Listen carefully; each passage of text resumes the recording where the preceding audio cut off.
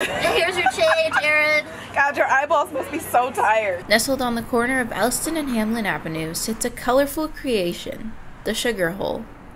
Josh Dihle and his wife Abby co own the Color Club, a venue for creative expression.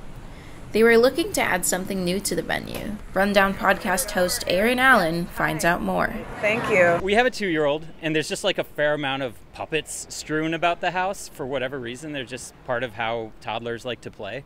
And so one day at dinner, we were talking about, like, oh, well, the sugar hole should, like, what if it was a little puppet hand that came out and took your change or took your money when you paid?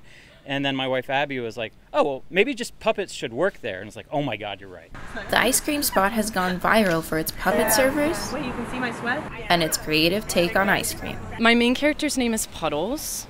Uh, he is chronically congested. My background is in education. I teach K through eighth grade at a Montessori school here in Chicago, and I use puppets mainly in the classroom. And uh, they, I find they really help kids with emotional literacy um, and to help them feel more comfortable with whatever concept I'm teaching. I, I usually use my bear puppet, Aurora Bearialis. She's a polar bear that is just hyper realistic. My main thing is making hyper realistic animals, and uh, it's always been like my goal in life to make hyper realistic stuffed animals, and puppetry became a really good outlet for that. So, yeah, she was my first puppet that I ever made, actually. The pop up puts a smile on both the customers and the employees' faces.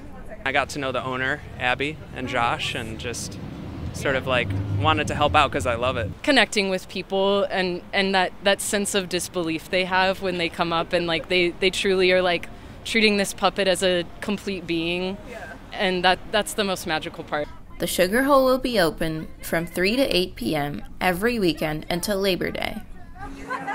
Sandra Salib, WBEZ.